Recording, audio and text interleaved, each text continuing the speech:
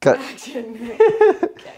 Today I'm taking over the channel and I'm gonna be showing you how to put on the skid plate on the Honda XR 150 L. um, also known as um, Wilbur, if you've seen him on the channel.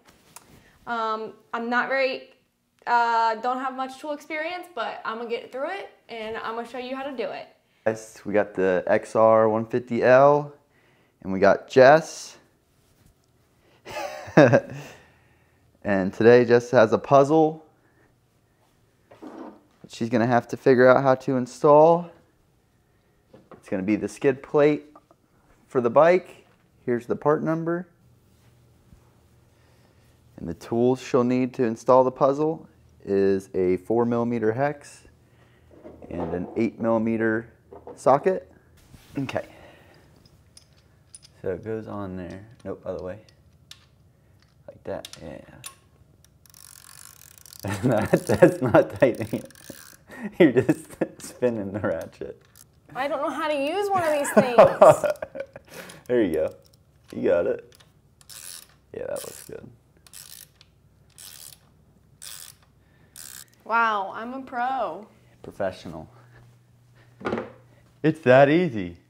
Here's my easy button. yeah, that was easy. Okay. All right, there you go. Can I have my next set of tools, please?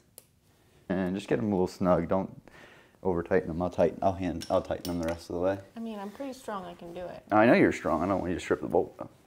Oh, you're gonna drive it? We're taking it for a drive. No. All right. Well, we got the skid plate on.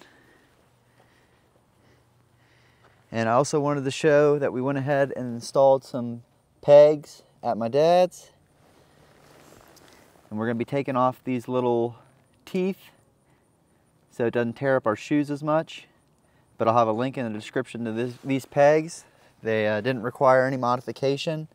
They're just, uh, uh, you gotta have some pretty strong hands to, to get it to fit in.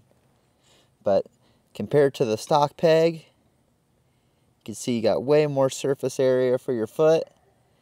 And they don't have the weird, you can see we modified the stock ones, that weird angle where they're kind of like that, cambered up. But the new ones look awesome. We're gonna go ahead and take those teeth off. All right, so to remove the little studs, or I call them teeth, um, it's a five millimeter socket. And they just come right out.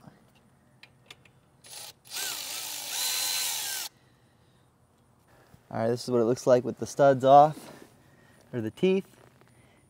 And I just took it up the street and I already tell this is gonna be the best mod we've done yet. It's just so much more planted. And they're actually really nice quality. Once you get them in there, they're a little tricky to get in, but once you get them in, they're awesome. And they match the red on the bike pretty well. It'd be interesting to see how long, if the anodizing holds up or not. But yeah, really happy with them so far.